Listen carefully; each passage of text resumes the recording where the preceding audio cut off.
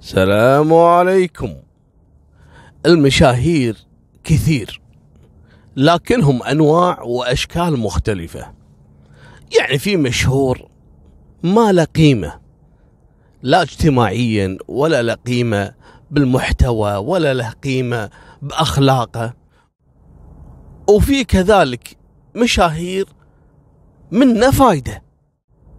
وإذا تبي تعرف المشهور اللي فعلا له قيمة ومنه فايدة هو المشهور اللي أنت ترضى إن أهل بيتك يسمعوا له أو يتابعونه. ويا رب لك الحمد والله العظيم إني أكون سعيد جدا لما واحد يقول لي يا أبو طلال ترى مو بس أنا أتابعك والله حتى أهلي حتى عيالي حتى إخواني حتى أمي وأبوي وهذول هم البركة. اليوم في رجل أمن. ينقال له صقر البحيري أوجه له تحية. اليوم مسكني الصبح كان عندي شغل وتصادفنا. يا هلا حياك الله وشلونك؟ شو أخبارك والله يا جماعة هو رجل يعني كبير و قال لي أبو طلال أنا أتابعك. قلت له والله لي شرف صراحة. قال لي تدري من اللي صدمني إنه يتابعك؟ أمي وأبوي كبار في السن. الله يطول بأعمارهم ويعطيهم الصحة والعافية. أبوي ضايفك من صوب وأمي ضايفتك من صوب. وكل واحد فيهم يتابعك أول بأول. وبعد ما تخلص الحلقة أو الفيديو يتناقشون حول القضية يعني. قعدت أضحك والله. قلت له شوف أقول لك شيء. أقسم بالله لما تقول لي إن في أم أو أب ورجل كبير بالعمر ويسمع لي والله العظيم إني أنا أطير من الفرحة. لأن هذا دام يسمع لك يعني موافق حتى عياله يسمعوا لك حتى الجيل اللي بعده يسمع لك. يعني حاس إن أنت كلامك مثلا يمثله هو لذلك أنا أحمد الله وأشكركم جدا وأشكر كل أب وكل أم وكل رجل كبير في العمر وكل شاب صغير في العمر على المتابعة وهذا والله العظيم فخر وهذه مسؤولية أنا أتحملها إني لازم أكون أفضل وأفضل علشان أستطيع أرضي رب العالمين ثم أرضيكم إن شاء الله. قصة اليوم بما أنكم يعني في التعليقات كثير مستانسين على كتاب بهاء أبو شقة اللي هو الحين عضو مجلس الشعب المصري واللي كان سابقا آه، وكيل نيابة وكان قاضي إلى أن أصبح يعني آه، محامي عضو مجلس الشعب المصري. واللي سألني عن الكتاب هذا هو الكتاب إن شاء الله يبين معاكم شلون يبين هذا أشوف أغرب القضايا. بهاء الدين أبو شقة. حتى الاسم أنا مضيعه سامحني. إذا سمع الفيديو ولا شيء خلي يعذرني. المهم ذاكر قصة من الغرائب. يقول حضرت عندي فتاة إلى مكتبي وكانت منهارة وتبكي. وحالتها في الويل. يقول أنا قعدت أهديها. يا بنت الحلال شوي ارتاحي اشربي ماي هدوها شوي. البنات اللي عنده في المكتب قاعد يهدونها الموكله علشان يبي يفهم منها شنو الموضوع. قالت له الحق علي. خطيبي احكموا عليه في الإعدام. في الإعدام قالت اي نعم في الإعدام. متهمينه انه قتل عمه. وكل العالم تخلت عنه. حتى إخوانه أشهدوا ضده. ولا حد حتى كلف نفسه يوكل محامي. المحكمة هي اللي أعطته المحامي علشان يتوكل عنه وأنت عارف. الرجل بما إن القضية لابستها لابستها ابدا ولا أحد حتى زاره. حتى أنا حرموني إني أروح له. وإحنا كنا على وشك الزواج بعد أسبوع من وقوع الجريمة. الله يخليك يا أستاذ نبيك تساعدنا وعلشان أطلع خطيبي من هالقضية. يقول أنا انصدمت. قضية إعدام. دائما المحكمة ما تحكم مستحيل على شخص بالإعدام إلا بعد تداول القضية وإثبات الدليل وقصة طويلة عريضة لأن قضايا دائما الإعدام ما هي قضية عادية. هذه قضية فيها إنهاء نفس. يعني خلاص هذا راح يموت راح نحكم عليه بالموت. مستحيل انه تم محاكمته بهالسهولة هذه لولا أن كان القضية ثابتة عليه. يقول أنا انصدمت من طلبها. لكن حاولت أهديها. أقول لها يا بنت الحلال المحكمة مستحيل تحكم على واحد بالإعدام يعني لمجرد الشك أو الظن أو انه ما في دليل قوي. مستحيل. طلبك هذا صعب جدا. الله يخليك وترجاه حالتها حالة الرجل قال ما يمنع اني أنا أقرأ ملف القضية. سبحان الله ممكن في خطأ رغم أن الموضوع مستبعد جدا. قال خلاص اهدي أنا علشانك راح أفتح ملف القضية وأقراه وأتمعن فيه. لربما في خطأ إجرائي ممكن أجل المحاكم لأن هذه كانت محكمة أول درجة. لكن أول درجة حاكم بالإعدام يعني الموضوع خلاص لابس الرجل إنه خلاص قاتل وانتهى. يقول فعلا أخذت منها ملف القضية وقعدت أقرأ وكذا و... ما شفت أي إجراء خطأ. أشوف كل شيء يعني ماشي بالسليم والرجل متهم بقتل عمه الشاهد زوجة العم وشافته بعيونها وهي كانت أصلا موثقة شهادتها ان شافت الولد هذا واللي ينقال له سمير هو اللي ضرب عمه بساطور على رأسه أثناء ما كان العم ساجد يصلي. في السجود جاله وضربه على راسه في ساطور إلى أن مات. لا المصيبة شنو؟ المصيبة إن في شاهد ثاني اللي هو أخو سمير الكبير ينقال له أشرف. أشرف قال إي نعم أخوي سمير هو اللي ضرب عمي بالساطور على راسه وهو ساجد. يقول بصراحة أنا في البداية يعني كنت أقرأ ملف القضية وأنا فيني يأس. يعني شنو أقدر أحصل في يعني القضية خطأ ممكن إنه يساعده أو ينقذه من حبل المشنقة؟ لكن يقول فتحت على صفحة الشهود اللي هي زوجة العم وكذلك الأخ. أخو سمير أشرف الكبير. يقول في البداية أنا حاولت أتصور الموقف أن شلون كانوا موجودين الشهود اللي هو أشرف وكذلك زوجة العم. لحظة قيام سمير بضرب عمه. يقول أنا فكرت فيها يعني ليش ما تدخل أخوه ما دام كان موجود وهو شاهد؟ وليش يعني ليش تركوه يضرب عمه؟ يقول هني كان مربط الفرس. يقول راح طبعا أنا راح أقول لكم من عندي أنا أبو طلال أنتم راح تنصدمون من هالسالفة. المشكلة الكتاب موثق كل شيء في القضية. يقول اسمع القصة من البداية. يعني حين بدت القصة. العم هذا كان عنده أخو. واخوه هذا عنده عيال اثنين. أشرف وسمير. مرض. هالاخ هذا؟ وتوفى. قبل لا يتوفى وصى أخوه على عياله. قال له الله يخليك.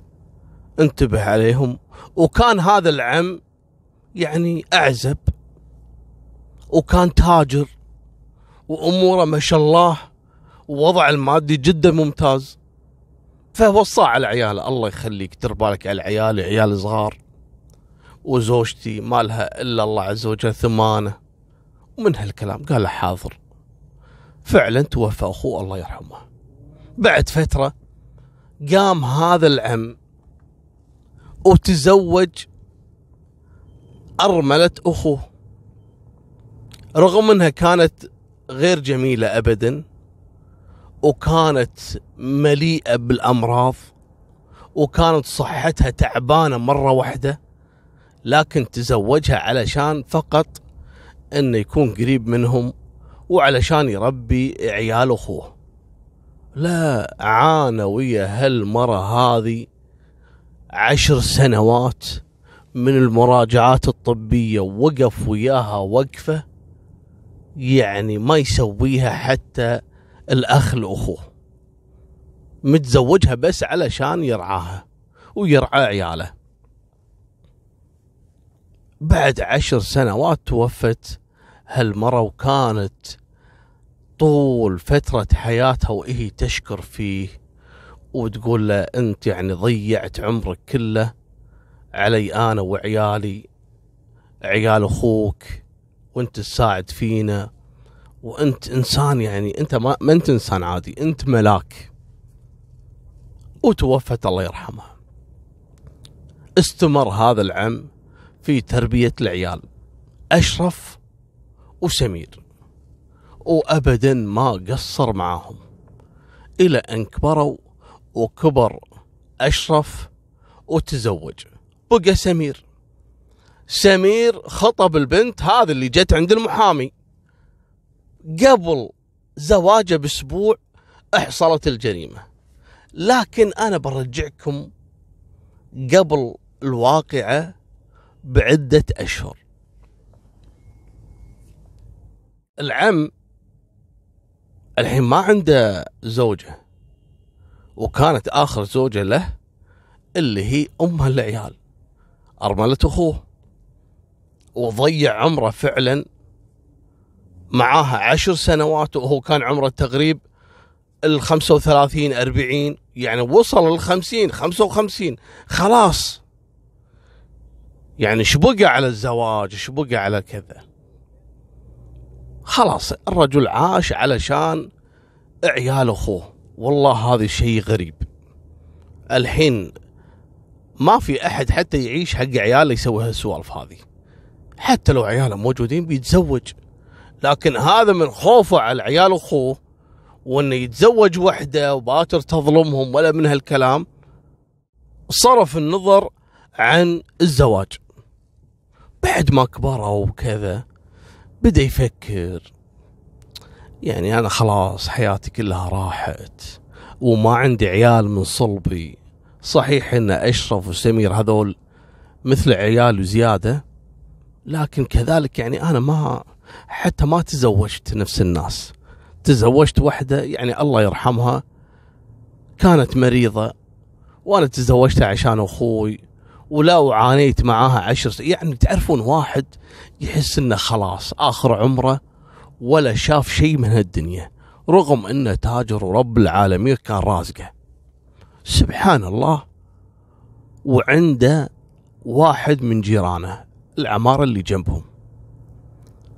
طبعا العم هذا ساكن في عمارته هو ومأجر الناس ومأجر كذلك حق عيال أخوه اللي هو أشرف لكن سمير ساكن معاه بنفس الشقة لأن سمير مو متزوج. ويتوفى واحد من الجيران وراح العزة اللي هو العم. يعزيه الناس وكذا. وشال معاه بعض الأغراض وإعانة حق أسرة هالرجل هذا اللي توفى. قالوا له هذا ما عنده عيال. هذا متزوج وحدة عمرها تقريب السبعة وعشرين سنة. بس بنت جميلة جميلة بشكل لا يوصف. لو أسمعكم الأستاذ بهاء الدين أبو شقة شلون يمدح جمال البنت والله تعذروني. المهم أنا ما بي أخليها بقلوبكم. كل واحد يتخيل. يقول رغم إنها لابسة الثوب الأسود في العزاء إلا إنها كانت أجمل الحضور. يقول أنا عيني ما شافت وحدة فيها الجمال. شافها منه العم. العم أعزب. لا وكان أرمل لكن بشكل صوري يعني.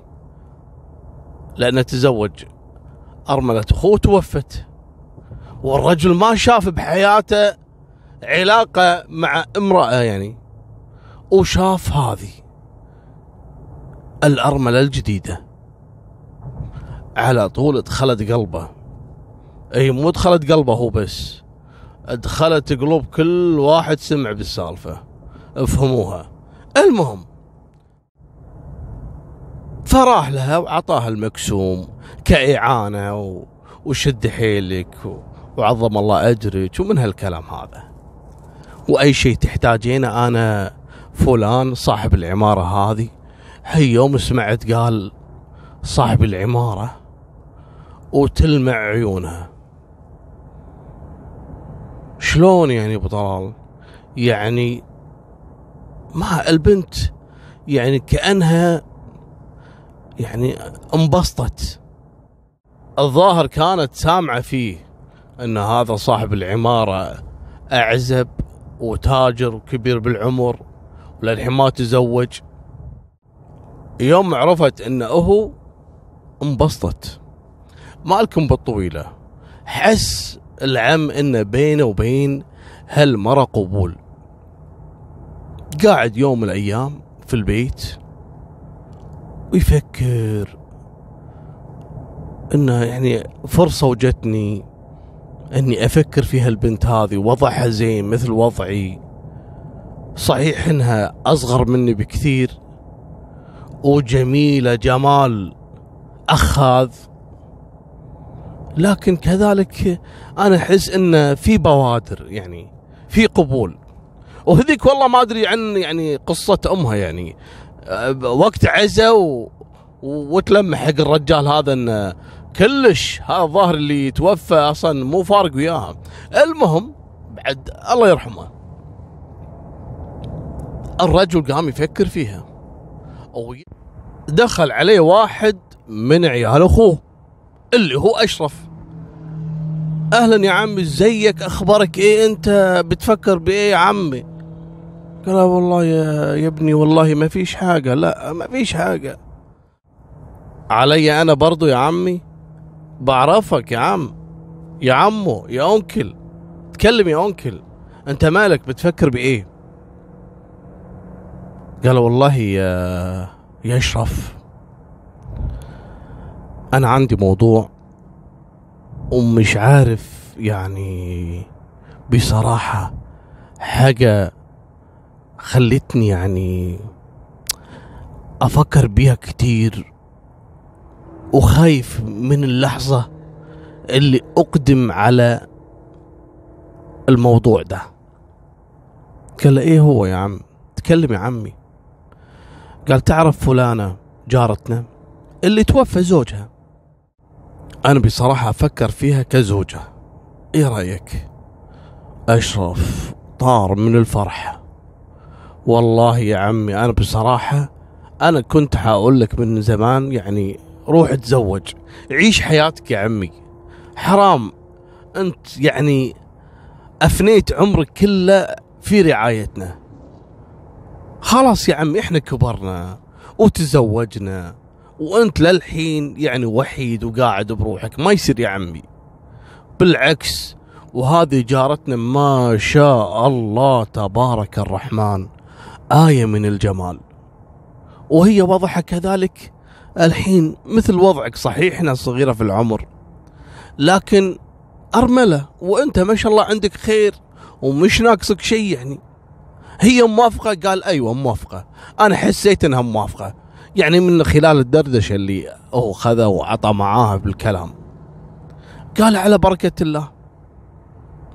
المصيبة الحين مو بأشرف بسمير اللي قلب الدنيا على عمه. لا يا عمي مستحيل.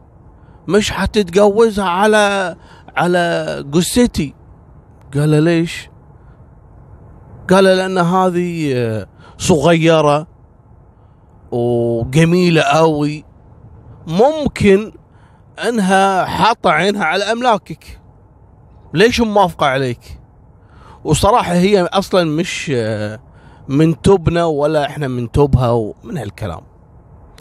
قال له ذلف الزين بعد هذا هم سمير الحين صج ملعون خير. الرجال مربيك. هو أنت إيش تبي؟ يبي يتزوج ما يتزوج كيفه؟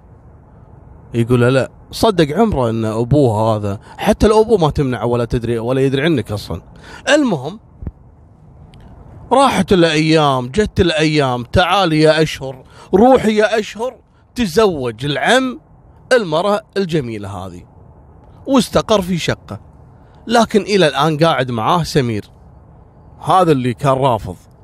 أما أشرف قاعد بشقة ثانية. سمير لأنه قاعد يجهز شقته الجديدة علشان يتزوج. أنا مو قلت لكم قبل مقتل العم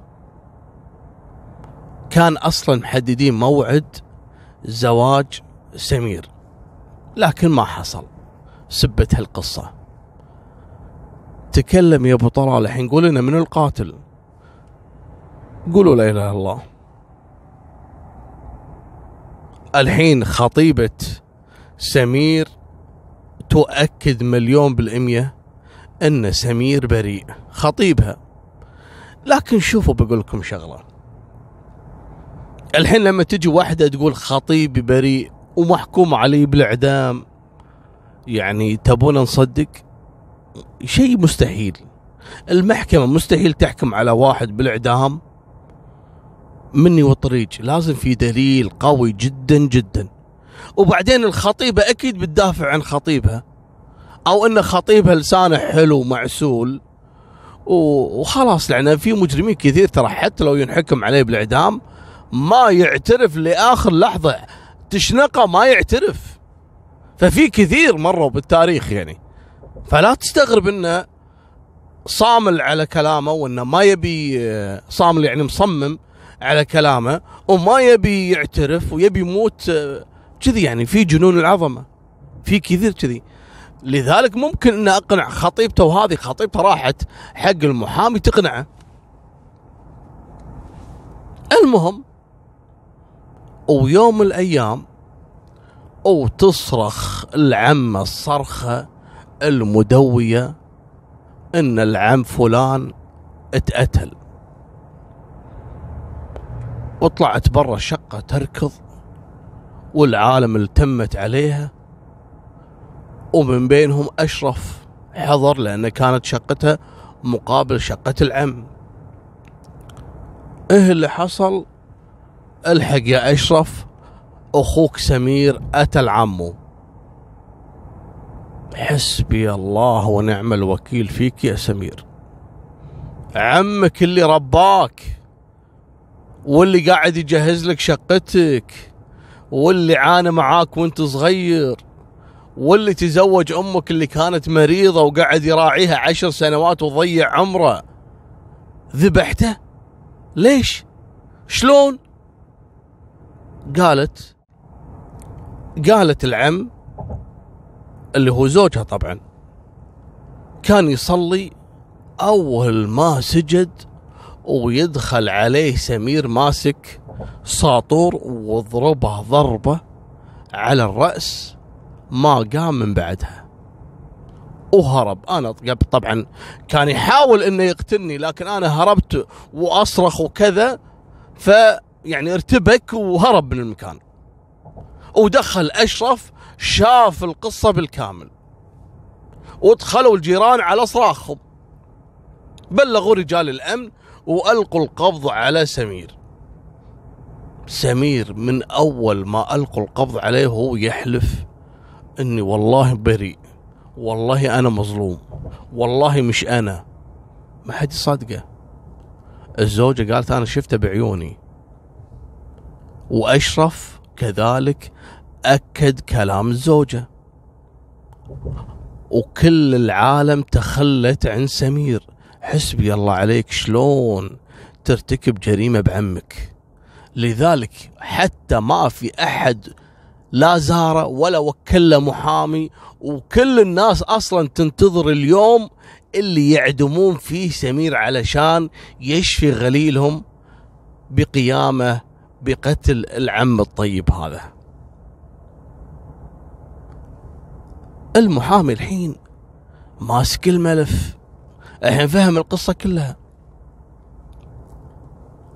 قال أنا بعرف. أشرف شلون شاهد أن سمير قتل عمه بالساطور وهو ساجد. وهو أصلا ساكن بشقة ثانية مو نفس الشقة. زين الزوجة هذه شافت سمير وهو يقتل عمه بساطور ليش التقرير الطبي يخالف كلامها؟ شلون يا أبو طلال؟ أنا بفهمكم. الحين واحد ساجد. وواحد يضربه على رأسه. المفروض الضربة تجي في الرأس من الخلف. صح؟ صح. التقرير اللي جابوه الطب الشرعي يؤكد إن في تفتت في عظمة الجبهة. يعني الرأس من الأمام. شو ما يصير. زين. إذا في تف... بالإضافة إلى أن الساطور ما يسبب تفتت. يسبب قطع. لأن ساطور حاد. التفتت تسبب يعني مثلا عصا حديدة غليظة ما هي حادة.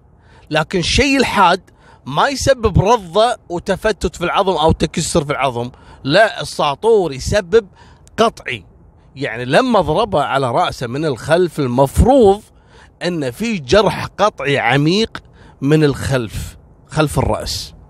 تقرير الطب الشرعي يقول أن في تفتت العظمة من الجبهة من الأمام. يعني العم ما كان ساجد على كلام الزوجة وعلى كلام أشرف. لما تعرض للضربة. ثانيا ما تعرض لساطور وهم أصلا ما اعثروا على ساطور. قالوا أن سمير ركض وهرب فيه وسمير يقول ما عندي ومو راضي يعترف. الشغلة الثالثة أن العم تعرض لضربة بالوجه يعني من الجبهة بس من الأمام. ما كان ساجد. هني يقول أنا حسيت إني مسكت طرف خيط البراءة. أول ما رحت المحكمة اللي هي الجلسة الثانية الاستئناف طلبت منهم إن يجيبوا لي الخبير الجنائي مال الطبيب الشرعي.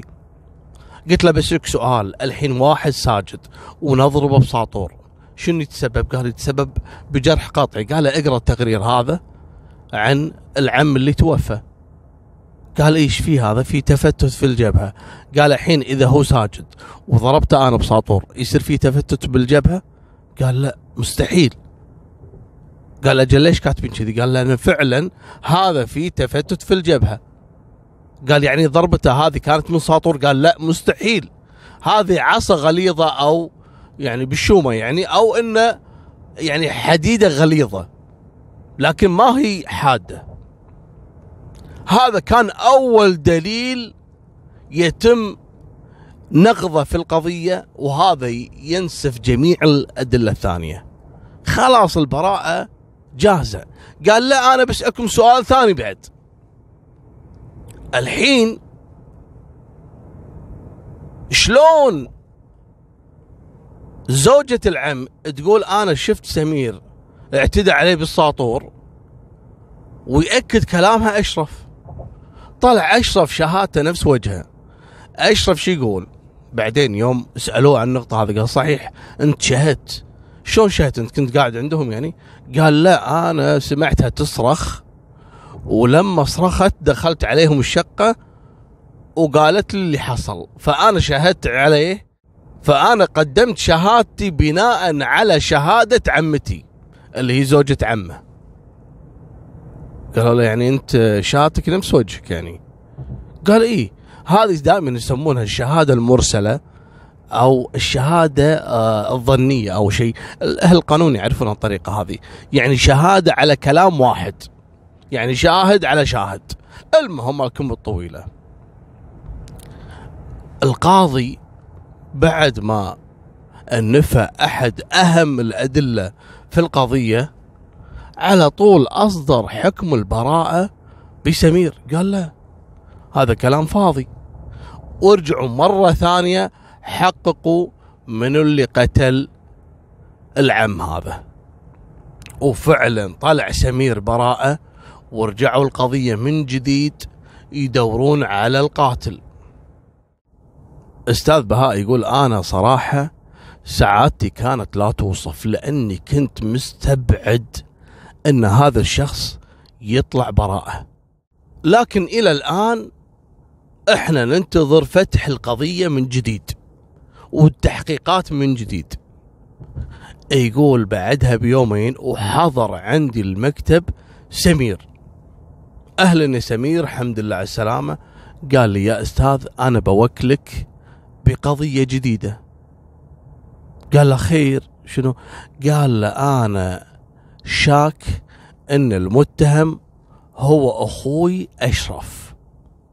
يا سمير يا حبيبي أنت يمكن يعني حاقد على أخوك لأنه يعني وقف ضدك في المحكمة وكذا. قال لا لا أنا مالي شغل بأخوي. وأخوي أصلا من طلعت من المحكمة ذاك اليوم وأعطوني البراءة أنا أصلا ما شفته. ما أدري وين راح. حتى زوجة عمي اختفت ما شفتها. لكن أنا أنا أقول لكم متأكد ان أشرف ورا الموضوع. قال ما يخالف. خل الموضوع شوي أسبوع أسبوعين وارجع لي مرة ثانية. خل تهدى أعصابك توك طالع من السجن ارتاح وروح شوف خطيبتك وكذا. وبعدين تعال لي إحنا ملحقين على كل شيء. واصلا القضية تم فتح ملفها من جديد والتحقيقات جارية. لا تشيل هم. قال أوكي. راح سمير. بعدها بثلاثة أيام ويدخل سمير على مكتب المحامي ويقول له يا أستاذ الحق علينا. قال له إيش فيك يا حبيبي؟ رجعت مرة ثانية خلاص يا سمير. قال له يا أستاذ أشرف أخويا قتل زوجة عمي. يقول الأستاذ بهاء يعني يقول أنا صراحة دخت. ليش؟ شو السالفة؟ قال قتلها ولا وتبين كذلك إنها كانت حامل. والحين ألقوا القبض عليه وأنا بوكلك في القضية علشان تعرف شنو الحكاية. قال لا أوكي. يقول أنا رحت أتابع القضية بعرف شنو قصته هذا أشرف. أشرف متزوج ومستقر وعنده عيال معقولة قاتل زوجة عمه الأرملة هذه واللي أصلا كان واقف وياها ضد سمير اللي كان متهم بقتل عمه يعني شيء معقد الموضوع. إيه يقول وأنا فعلا أروح هناك وخلوني أدخل عنده أسأله شنو فيك شنو قصتك شنو كذا؟ قال قال أستاذ أنا عاوز أقول لك الحقيقة بالكامل من طأطأ إلى سلام عليكم. قال له تفضل. قال له شوف يا أستاذ لما عمي تزوج البنت هذه وأنا صراحة كنت مؤيد له. لكن أخوي سمير ابدا عمره ما اعترض. لكن أنا أوهمت عمي إن سمير معترض وإن سمير يعني رافض زواجه ومن هالكلام علشان أسبب مشكلة بينه وبين عمي. لأني أنا كنت أصلا طمعان بفلوس عمي. لكن ما حصل وعمي فعلا راح وتزوجها. البنت جميلة بشكل غير طبيعي لذلك دخلت قلبي. وعمي أصلا المعلومة اللي ما حد كان يعرفها إلا أنا لأني أنا الوحيد اللي راح معاه الفحص من سنوات إن عمي أصلا عقيم. وصارت بيني وبين زوجته علاقة طول هالفترة. وكانت هي موافقة وهي اللي تبي وهي اللي حرضتني على الموضوع هذا لأنها تبي تحمل. والله شيء الدنيا غريبة. والله أنا أدري. يقول إيه لما عرفت أن عمي عقيم. قالت ما في مشكلة هي أهم شيء الفلوس اللي عند عمي. ولما اكتشفت أن العالم كلها ما تدري أنه عقيم قالت أبي أحمل منه. لفت على منه على ولد أخوه اللي هو أشرف. حسبي الله عليه اللي رباه طول عمره. وصار بينها وبينه علاقة وكانت عندها خطة إنها تحمل من أشرف علشان تورطه وفعلا حملت منه. بعد فترة قالت حق أشرف إني أنا حامل وإن عمك عقيم قال لها أنا عارف إن عمي عقيم. قالت حق أشرف إن أنا حامل. أشرف طبعا قال لها أنت راح تفضحينا أنت كذا ليش مو ماخذ احتياطاتك؟ المهم اسقط اللي في بطنك قالت مستحيل. قالت له يا أشرف اسمع علشان يصفى لنا الجو ونكوش على كل حاجة ونطرد أخوك سمير. الولد ده نقول انه هو ابن عمك. ونتخلص من عمك يبقى الوريث الوحيد مين دلوقتي؟ اللي هو الواد. هم ما يعرفوش انه هو ولدك أنت. قال لها تمام. قالت بعد ما نورث كل شيء يصفى لنا الجو أنا وياك ونحط التهمة على سمير إنه هو اللي قتل عمك. اقعدوا يخططون لمدة طويلة شلون يورطون سمير في هالقضية. يعني بالعربي أشرف باع عمه اللي رباه وباع أخوه وباع شرفه وكرامته إنه رايح حق مرت عمه. يعني قمة النذالة والخساسة. وفعلا هذا اللي حصل. ويوم من الأيام ويضرب عمه بعصا غليظة على رأسه كانت في جهة الجبهة سقط حطوه عند السجادة وقامت هي تصرخ وتقول إن سمير ضربه وإنه طبعا تقول لي أبو طلال يعني ليش ما شكوا في المرة هذه؟ أنا قاعد أقول لكم ردوا وفتحوا التحقيق من جديد. لأن هم كانوا معتمدين اعتماد كلي على شهادة الزوجة وعلى شهادة أشرف هذا أخوه وهذه زوجة عمه لبست القضية خلاص. أما وين الساطور؟ قالوا الساطور خذاه سمير ورماه برا والرجال ينكر.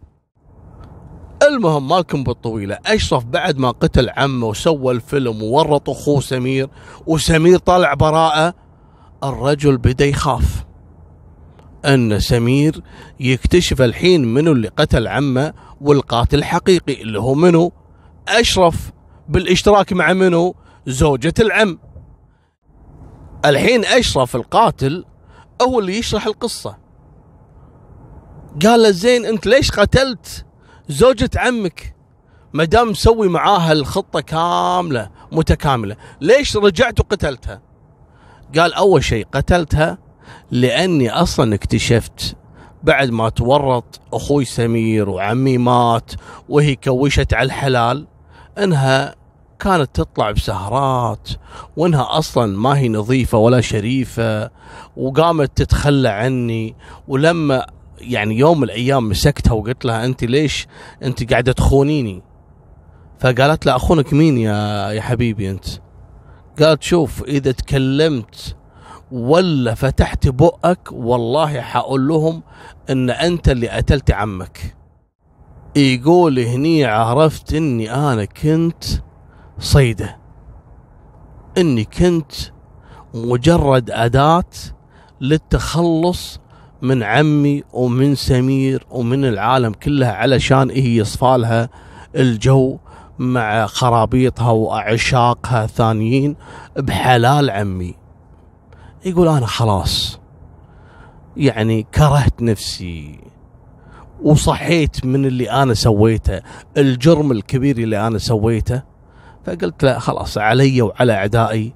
بما أني قتلت عمي مو فارقة كذلك أقتلها هي. وفعلا يقول رحت وقتلتها وقلت أحسن علشان كذلك أتخلص من ابن الحرام اللي في بطنها اللي هو ابني. وراح سدد له كم طعنة وسلم نفسه لرجال الأمن. وعلى طول طبعا احكموا عليه بعدين بالإعدام. وأثناء وجود أشرف في السجن ينتظر موعد تنفيذ حكم الإعدام فيه أقدم على الانتحار وترك رسالة ندم واعتذار أخذها أخوه سمير وأعطاها للأستاذ المحامي. قراها كانت فيها جميع الاعترافات وإن الرجل يعني يعني يقول أنا ندمت إني قتلت عمي وإني ضحيت بأخوي وقتلت زوجة عمي وخنته كذلك ومن هالأمور فايش يقول حق منو؟ سمير. أخوه يقول له سامحني والله يخليك دير بالك على عيالي دير بالك على زوجتي. المهم راح أشرف والمال والحلال كله صار حق سمير واللي هو كذلك بدوره قام واعتنى في أسرة أخوه أشرف وتزوج وعاش في سبات ونبات وخلف كوشة عيال وبنات. وهذه نهاية سالفتنا. وفمان الله مع السلامة.